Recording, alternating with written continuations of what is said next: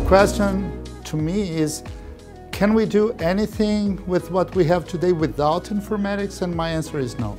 We talk about big data, and in reality it is a lot of data. But with that volume, we have complexity, and informatics is, is what we use to reduce that complexity and transform that into meaningful knowledge. If we really think historically, uh, medicine started as an art more than a science. The idea of a doctor that will know everything is far gone.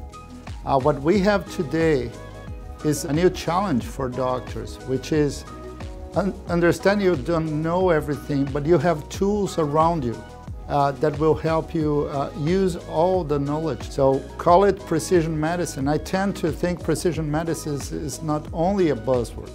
That's the reality of having all those tools around you, helping not only you, but the caregivers, the family, uh, the society uh, to promote better conditions. Informatics is what brings all those pieces transformed into knowledge. It can be uh, uh, transformed into improvements, be it improvements in, in the quality of life, be it improvements in uh, how we treat diseases. Patients should like the, the fact that we help the doctors, help the policymakers, help society understand better how to keep people healthier or if they have a disease, how to treat them uh, more efficiently.